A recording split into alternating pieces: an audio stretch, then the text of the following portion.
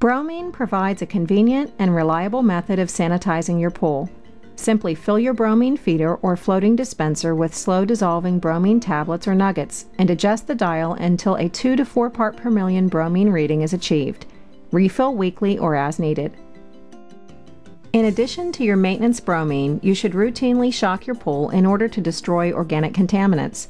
You can shock your pool by using a non chlorine shock, potassium monopersulfate, or using a large amount of chlorine, enough to raise the free chlorine residual to 10 parts per million.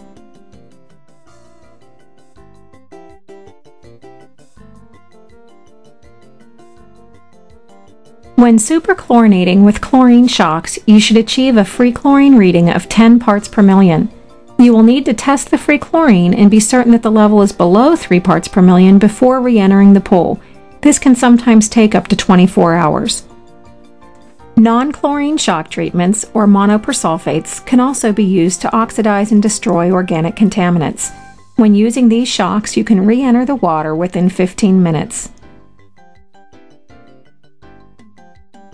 AquaChek Red test strips provide an easy and reliable method of testing.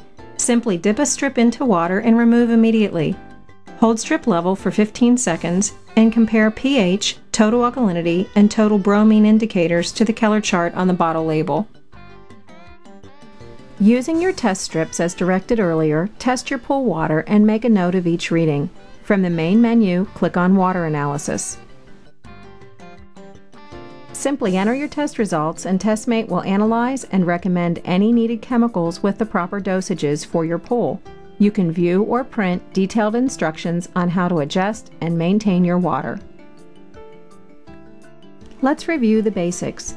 Check your feeder weekly and refill with bromine as needed to maintain a 2 to 4 part per million residual.